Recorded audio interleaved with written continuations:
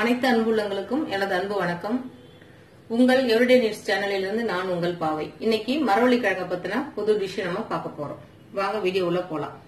நான் வந்து மரவள்ளி கிழங்க வேக வச்சு எடுத்து வச்சிருக்கிறேன். அதுக்கு தேங்காய் துருவலும் சர்க்கரையும் தேவை. இது நம்ம நாட்டு சர்க்கரையும் போட்டுக்கலாம் இல்ல வெள்ளை சீனியும் போட்டுக்கலாம். சரிங்களா? இப்ப நம்ம என்ன பண்ண போறோம்னா இந்த மரவள்ளி கிழங்கு வந்துட்டு உதுத்து இந்த மாதிரி எடுத்துக்கணும். இதுல இருக்கக்கூடிய இந்த நாரை வந்து ரிமூவ் பண்ணிடுங்க. இப்போ இது மாதிரி கிழங்கு வந்துட்டு நல்லா உதிரி உதிரியா எடுத்துக்கணும். எடுத்துட்டு இதுக்கு நமக்கு தேவையான அளவுக்கு இதுல வந்து சுகர் ஆட் பண்ணிக்க போறோம் நம்ம. நம்ம இதுல வந்து உப்பு சேர்க்க தேவையில்லை. ஏன்னா நம்ம கிழங்கு வேக வைக்கும் போதே நம்ம இதுல உப்பு சேர்த்து தான் வேக வச்சிருக்கிறோம். அதனால வேண்டி உப்பு சேர்க்க வேண்டாம்.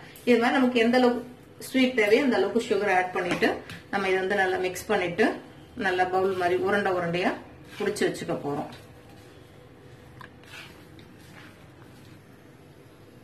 இப்போ நம்ம வந்துட்டு இந்த கிழங்கெல்லாம் இந்த மாதிரி நல்லா உருண்டை பிடிச்சி வச்சுட்டோம் இல்லையா?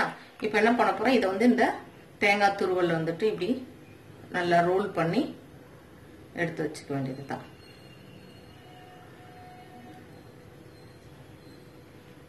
இது வந்து பசங்களுக்குலாம் ரொம்ப பிடிக்கும். பெரியவங்களுக்கும் ரொம்ப பிடிக்கும். மரவள்ளி கிழங்குல வித்தியாசமா நம்ம செஞ்சு வச்சிருக்கிறோம் இன்னைக்கு. இதை வந்துட்டு நீங்க செஞ்சு சாப்பிட்டு பார்த்துட்டு உங்களோட கருத்துக்களை வந்து பதிவு பண்ணுங்க. இப்போ நம்மளோட மரவள்ளி கிழங்கு இனிப்பு பலகாரம் ரெடி ஆயிடுச்சு. இதை குழந்தைங்களுக்கு செஞ்சு கொடுங்க. ஓகே இதை பத்தின கருத்துக்களை நீங்க வந்து பதிவு பண்ணுங்க. சப்ஸ்கிரைப் பண்ணுங்க லைக் பண்ணுங்க ஷேர் பண்ணுங்க. அப்படியே பக்கத்துல இருக்கிற பெல் பட்டனை அமைக்குங்க நாங்க போடக்கூடிய ஒவ்வொரு புது வீடியோவும் உங்களுக்கு வந்து உடனே உடனே அப்டேட் ஆகிட்டே இருக்கும். தேங்க்யூ